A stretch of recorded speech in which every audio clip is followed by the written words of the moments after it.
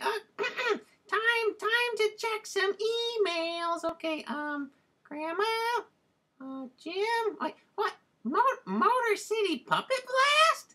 Hey, that looks really cool. Um, okay, let's see. Um, there's performances and workshops.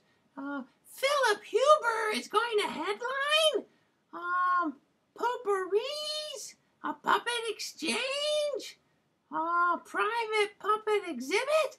Oh my goodness, I gotta sign up. All right, I'll be there.